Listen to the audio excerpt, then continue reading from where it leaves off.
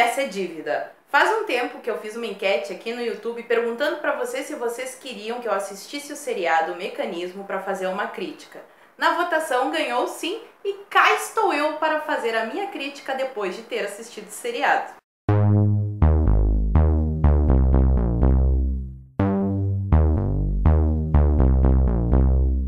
Antes de falar sobre o seriado, eu quero fazer uma pequena observação.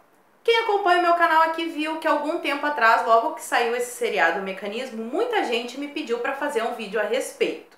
E eu fiz um vídeo falando sobre a minha expectativa. A minha expectativa é que o seriado fosse uma bosta. E o mais, assim, triste, triste é a palavra que eu tenho para dizer para vocês, é que choveu de comentários do tipo: Seu canal está decaindo. Agora você fala sobre coisas que não conhece. Ou então, Você deveria assistir o seriado de falar qualquer coisa. Isso cansa um pouquinho a minha beleza, porque assim, é triste, triste mesmo, que as pessoas já não conseguem mais interpretar um vídeo. O que, que eu falei nesse vídeo? Ó, pessoal, eu não tenho costume de assistir Netflix, mas se vocês quiserem eu posso assistir. A minha expectativa, o que eu acho antes de assistir o seriado, é que ele é uma porcaria. Lá naquele vídeo eu falei as razões pelas quais eu tinha expectativa, mas as pessoas não entendem, não entendem. Então cá estou eu, depois de ter perdido 8 horas da minha vida assistindo aquela porcaria. Sim, eu achei uma porcaria, as minhas expectativas se confirmaram e eu vou dizer por quê. Agora, depois de ter assistido todos os oito episódios, eu posso dizer com propriedade que aquele seriado O Mecanismo não passa de uma repetição do discurso da Globo, só que melhor produzido. A primeira coisa que eu vou falar com vocês é um detalhe que talvez tenha passado despercebido pela maioria das pessoas, não estou culpando ninguém, mas eu observei isso. Tem um delegado na história, o Marco Rufo, que vive dizendo que em 20 anos como delegado da Polícia Federal, a única coisa que ele conseguiu comprar foi um sítiozinho no interior e um carro que ele deu para a mulher dele. O carro era usado. Para só um pouquinho, não entendi esta parte. Um delegado da Polícia Federal tem um salário inicial de aproximadamente 22 mil reais. Ganhando 22 mil reais por mês, eu não tô nem aqui contando os benefícios, a progressão de carreira e tudo mais, mas vamos por baixo, 22 mil reais. Não dá para dizer assim que a pessoa é pobre. E por que, que eles fizeram essa jogadinha do delegado ser pobre? Porque aí ele representa uma das minorias, a minoria dos pobres, na velha luta de classes de pobres contra ricos. Afinal de contas, o herói da série é um pobre representante da classe trabalhadora. Se eles tivessem feito a realidade, o delegado ia morar numa casinha bem melhor, ia ter um carro bem melhor, um para ele, um para a esposa dele, mas aí não pega bem, porque afinal de contas todo mundo que tem dinheiro não presta, não é assim que a esquerda pensa? Eu vou ler aqui uma das falas que eu tirei do seriado para vocês entenderem um pouquinho melhor o que eu tô querendo dizer para vocês. Os empresários sabiam de tudo e fecharam com a direita e com grande parte da imprensa. Eles não queriam ser investigados. Fico até emocionada com essa fala tão empoderades do delegado. Aqui, além de colocar todos os empresários como vilões da história, eles estão reforçando aquele discursinho que vocês já devem ter ouvido muito esquerdista dizendo por aí, que a Lava Jato só existiu e que só pôde ser investigado crime no país porque a Dilma ganhou as eleições e porque o PT investiga muito a corrupção. Tá, cara. E ainda teve gente que gostou do seriado. Ai, que difícil.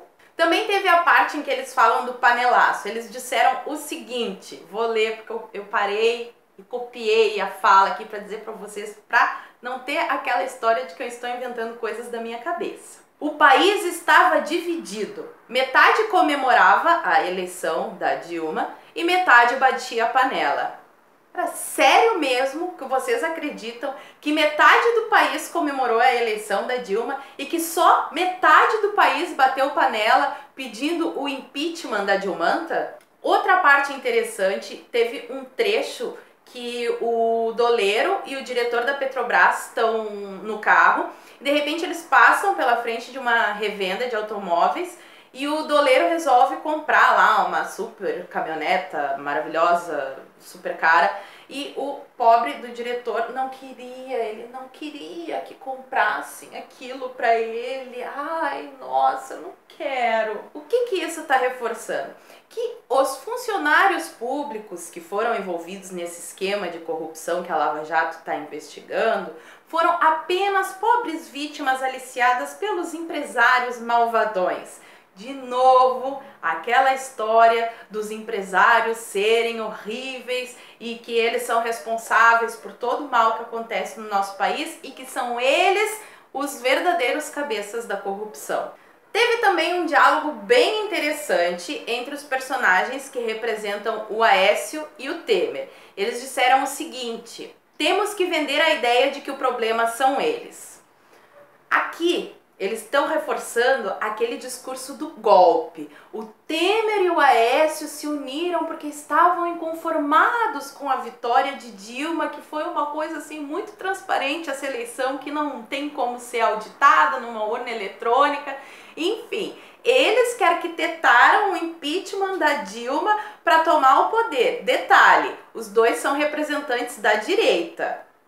Só que nunca. Bom, o Lula e a Dilma aparecem? Aparecem. Mas eles são praticamente coadjuvantes ali. Tanto é que quando aparece aquele esquema da corrupção na série, eles fazem um desenho bem semelhante ao que a Polícia Federal apresentou com o Lula no centro, só que na série casualmente não é o Lula que está no centro, é o Doleiro e o Cef. Então o Lula não é o cabeça da corrupção, é o Doleiro e o Cef. É isso que o seriado diz. Tá lá o desenho.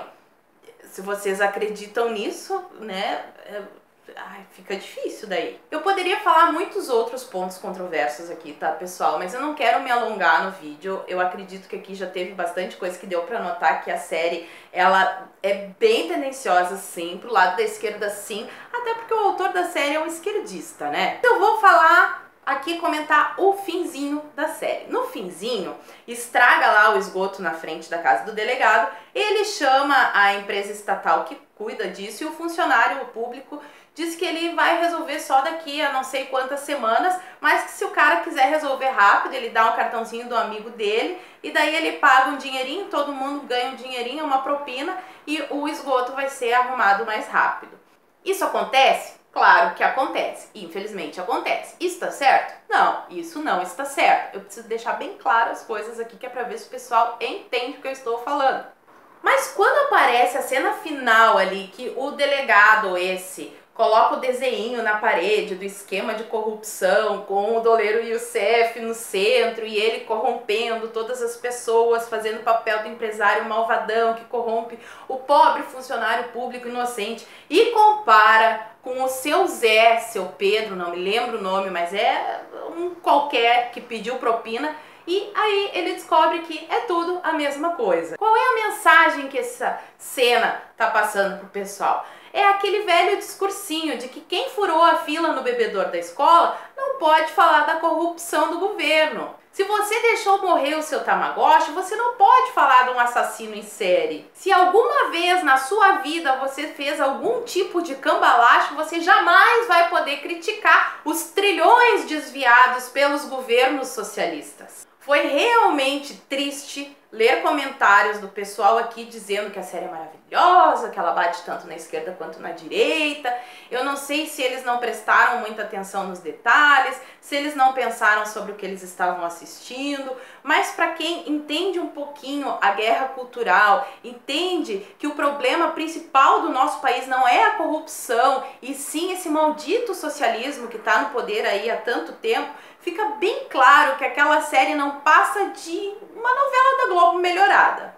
Eu vou deixar uma dica aqui no final desse vídeo para vocês. Se vocês querem começar a entender um pouquinho melhor o que está acontecendo, não é só no Brasil, é no mundo todo, sobre a revolução cultural, não querem mais ser enganados por esse tipo de, de filminho, de coisinha que a mídia coloca, se inscrevam na Masterclass do Nando Moura. Eu vou deixar o link aqui nos comentários. Se vocês fizerem a inscrição de vocês através desse link, vocês estão ajudando o meu canal. E lembrem-se, meus amigos, um estelionatário, quando chega para enganar uma vítima, ele não chega dizendo que está mentindo. A mentira não pode ser muito grande, muito evidente, senão a pessoa não cai. Se eu quero enganar as pessoas, por exemplo, com dinheiro falso, eu não posso pegar uma folha de ofício e desenhar de canetinha. Eu tenho que fazer uma falsificação que se pareça com a realidade. Nesses seriados, filmes, novelas, notícias, eles colocam a mentira no meio de algumas verdades que é para enganar os mais incautos. Infelizmente, a maioria das pessoas cai nisso. Não estou condenando vocês, só estou tentando abrir os olhos.